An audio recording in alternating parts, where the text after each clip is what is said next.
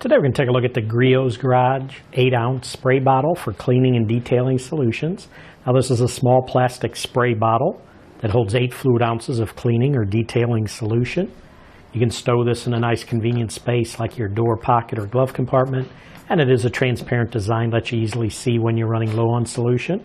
It's a plastic construction, helps resist wear from chemical contact, and if you notice it does have a sprayer nozzle that's included. But that should do it for the review on the Griot's Garage 8 ounce spray bottle for cleaning and detailing solutions.